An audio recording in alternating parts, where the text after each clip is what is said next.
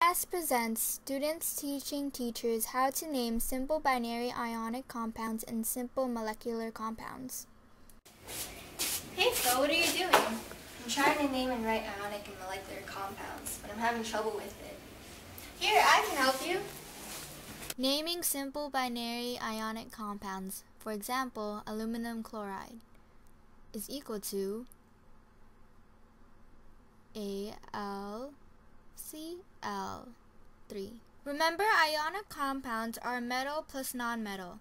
When naming simple binary compounds, the metal always comes first. As well, the ending of the second element, which is the nonmetal, will end in the suffix IDE. Writing the formula of simple ionic compounds. For example, to write the formula as AlCl3, you must know the charge of each element. Aluminum has a charge of positive 3, while chloride has a negative charge. Now we're gonna circle each of these charges and crisscross them.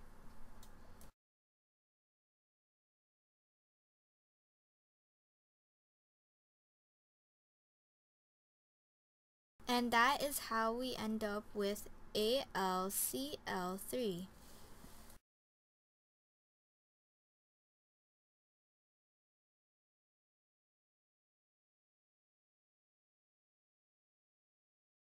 Now let's practice.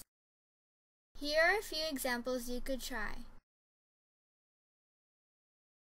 Here are the answers to see if you got it right. Magnesium has a positive ion charge of 2, and chloride has a negative ion charge. Circle, circle, criss, cross, and you have the formula MgCl2.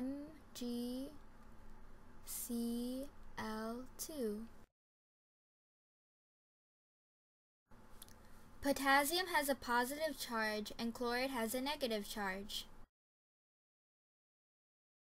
Circle, circle, criss, cross, and your formula is KCl.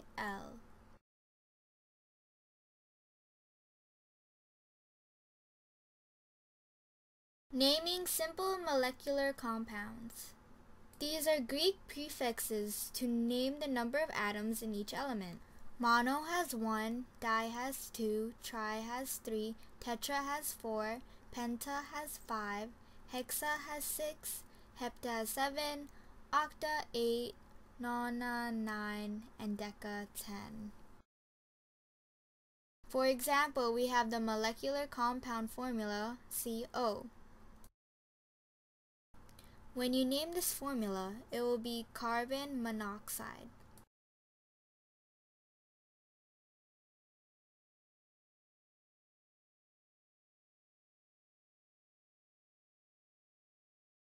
Notice we are working with a nonmetal plus a nonmetal ions. As well, you see, it isn't called monocarbon monoxide because it is only needed when we get to more than one atom in the first element. We use the prefixes. Writing formulas for simple molecular compounds. For example, carbon dioxide is equal to CO2.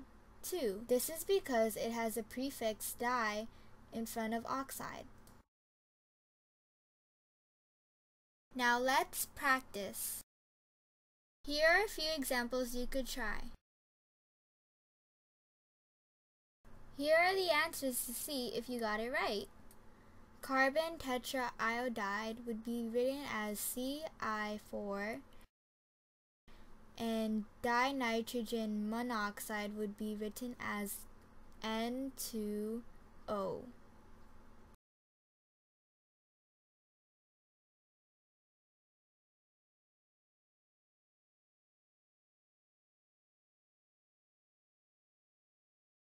Do you know how to do it now? Yeah, I think so. Thanks. You're welcome.